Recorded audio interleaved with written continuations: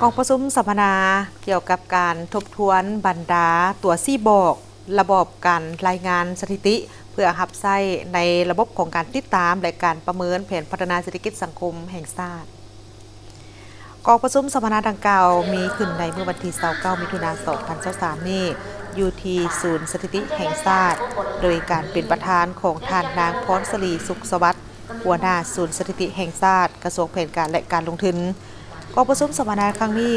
เมนจะได้มีการลงลึกและปรึกษาหารือ และพร้อมทั้งสร้างความเข้าใจต่อกับความจำเป็นในการสร้างความเป็นเอกภาพ ในการผลิตและสนองตัวซี่บอกทางด้านสถิติเศรษฐกิจ สถิติสังคม สถิติสิ่งแวดล้อม และความมั่นคง ภายในระบบการจัดตั้งสถิติแห่งชาติรวมทั้งความเป็นเอกภาพต่อกับแผนเบียกในต่อหน้า โดยเฉพาะก็เมนการคิดไลบรรดา ดัชนีหมายเพื่อหับไส้แผนพัฒนาเศรษฐกิจสังคม แต่ปี 2023ถึง2025พร้อมทั้งเกี่ยมใส่การสรุปแผนข้างที่ 5 นับตั้งแต่ 2024-2025 และการสร้างปรับปรุงปึมคูมือพร้อมกับบทแนะนำในการคิดรายตัวซีบอก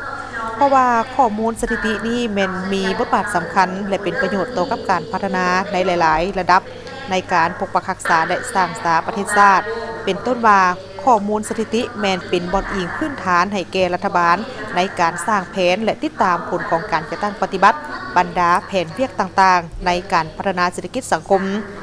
สำคัญยิ่งไปกว่านั้นยังเป็นเครื่องมือและเป็นไม้ลาวัดแทก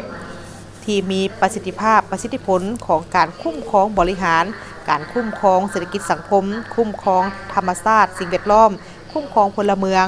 การสร้างนโยบายประสกรและการพัฒนาที่มีคมดุลเดียง